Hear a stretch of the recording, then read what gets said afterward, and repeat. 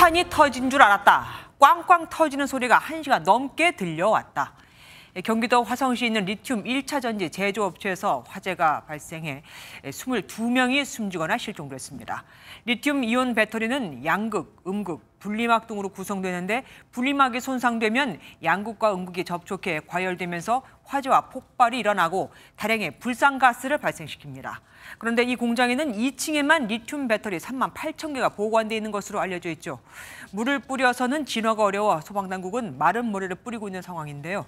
문제는 공장 안에 고립된 것으로 알려진 22명. 이 대부분이 나오질 못했다는 겁니다. 먼저 이재호 기자가 보도합니다. 건물 사이로 시커먼 연기가 쉴 새 없이 뿜어져 나와 하늘을 뒤덮습니다.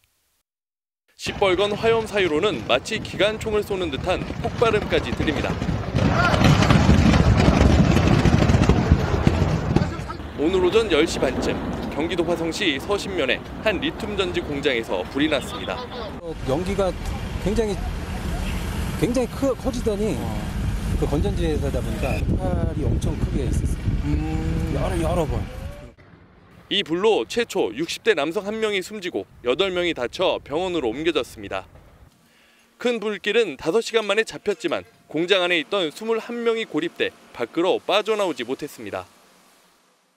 불이 꺼졌다가 다시 살아나길 반복하면서 진화와 구조에 어려움을 겪기도 했습니다.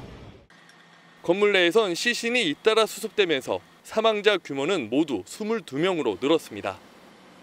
불이 난 공장은 리튬 전지 완제품을 검수하고 포장 작업을 하는 곳으로 알려졌습니다.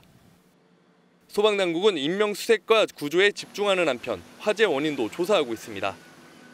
MBN 뉴스 이조입니다.